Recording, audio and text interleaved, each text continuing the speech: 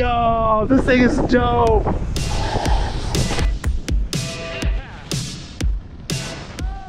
What's up everyone? Mike Leighton, snowboard expert with Curated.com.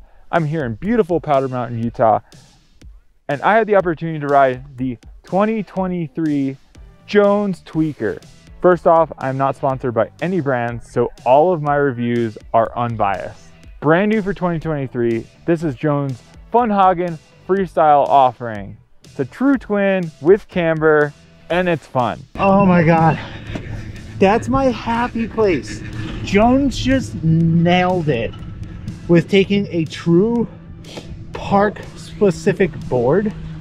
But as soon as you unleash the mountain, every feature turns into a balloon lined pre-made park feature. It's soft where it needs to be, but stable everywhere else. Like hard pack groomers right now, I'm railing Euro carves on it while having that playful ability I can butter all day. If you need help finding your next setup, hit the link in the description and talk to a curated expert. So it features their double radius nose and tail. So this basically allows for the longest possible side cut while still having a blunted tip and tail. It feels like you're riding a much longer board, so you have that much more control, but it has this swing weight of a smaller board. So what we ended up riding was the 156. It features their V-Core 3.0, which means it's a little bit softer in the center so what that allows you to do is really torsionally flex the board. So getting it up on edge is really easy. So that kind of compensates for the fact that it is a true cambered snowboard. It is at home make and turn switch regular. It is nimble. It's really lightweight.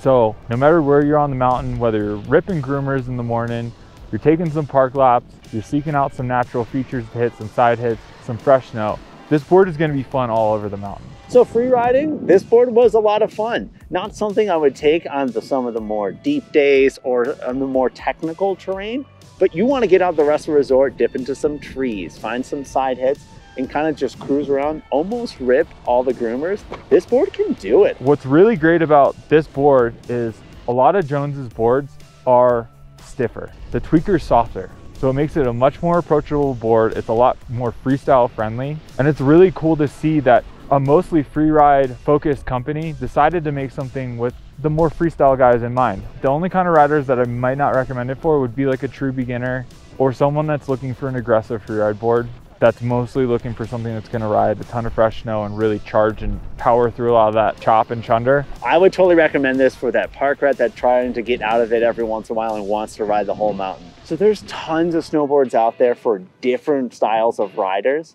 Here at Curated, experts like me will help make sure we can find the right one for you. Click the link in the description below so we can find your next setup. If you like what you saw here today, hit the subscribe button below to see more content from Curated. My sea legs aren't there yet! No! This thing is so fun. Holy, it's fun. Sorry about the cursing.